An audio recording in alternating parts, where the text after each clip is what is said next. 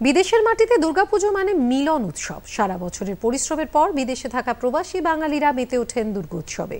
পুজোর তিথির আশেপাশে শুক্র থেকে রবিবারের মধ্যে সম্পন্ন হয় প্রবাসের বেশিরভাগ দুর্গাপুজোটি এমনই একটি পুজো হয়ে গেল ইংল্যান্ডের কেমব্রিজে।